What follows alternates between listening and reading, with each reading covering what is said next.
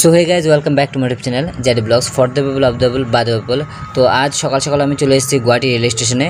আর Guwahati rail station থেকে আমি হাওড়া যাব বায়া ট্রেন আর ট্রেনটা হলো কামরূপ এক্সপ্রেস সেটা খুব সকাল সকালে যায় গুয়াহাটি রেল স্টেশন থেকে। তাহলে চলুন আমার সাথে আজকে এই যাত্রা সম্পন্ন করতে আর আমি এখন চলে এসেছি গুয়াহাটি রেল স্টেশনের ভিতরে। আর দেখতে পাচ্ছ, গুয়াহাটি রেল স্টেশনটা অনেক সুন্দর আছে, পরিপাটি আছে এখানে অনেক বড় ফ্যানও লাগানো আছে, গ্লাসও লাগানো আছে বেশ কয়েকজন মূর্তি আছে। সামনে একটা ছোট্ট একটা বাগান আছে, ফুলের বাগান, বেশ সুন্দর।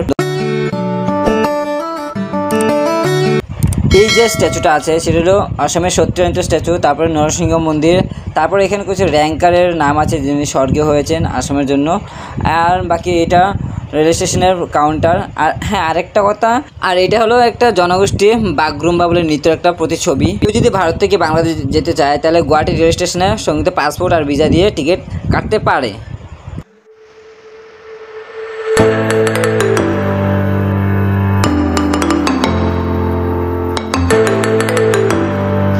ট্রেন প্ল্যাটফর্ম নাম্বার একে আসবে। তাই প্ল্যাটফর্ম নাম্বার একে যাচ্ছি এখন। ওভার ব্রিজ থেকে নেমে আমি চলে আসলাম প্ল্যাটফর্ম নাম্বার এক, যেখানে আমার ট্রেন আসবে প্ল্যাটফর্ম নাম্বার এক। তোমাদেরকে স্টেশনটা দেখালাম। তো এবার ট্রেনের অপেক্ষায় রয়েছি। আজ আমার যাওয়া হচ্ছে কলকাতা। বিশেষ দরকার আছে। যেতে যেতে বলব, এখন শুধু ট্রেনের অপেক্ষায় আছি প্ল্যাটফর্ম নাম্বার ওয়ান যতক্ষণ আমি স্টেশনে বসে আসলাম তো আমার সামনে দিয়ে ডিব্রুগড়, নিউ দিল্লি, রাজধানী এক্সপ্রেস পার যাচ্ছে। আর বেশ সুন্দর এলএসবি কোচ আছে। তারপর চলে আসলো ডিব্রুগড় হাওড়া কামরূপ এক্সপ্রেস যেটাতে আমি আজকে আমার যাত্রা করব। ট্রেন চলে এসছে।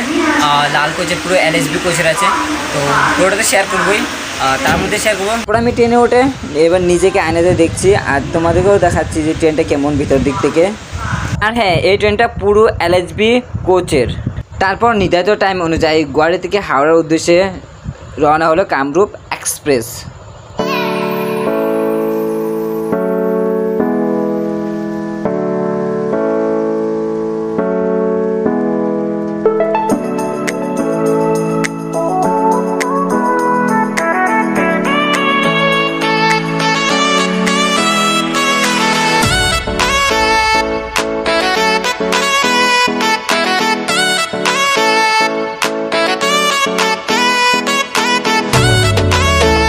সিটে বসে আমি একটা কথা ভাবছি, না জানি এই ট্রেন কত মানুষের যাত্রা আরম্ভ করে আর কত লোকের যাত্রা শেষ করে।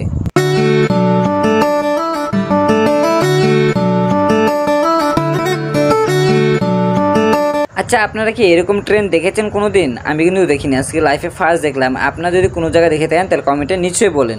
তারপর পৌঁছে গেলাম নিউ জলপাইগুড়ি শর্টে এনজেপি সবাই বলে, আর এখান থেকে কিছু কেনাকাটি করব, খাবার দাবার, আর কি বলব? এই ধুলোই মাখা চেহারা নিয়ে চললাম এই আজকের এই যাত্রা। কেমন হয় কমেন্টে নিশ্চয়ই বলবেন।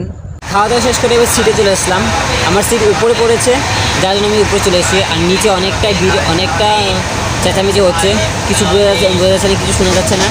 তো আপাতত এখনই দেখা হবে নেক্সট পর্ব নম্বর দুইয়েতে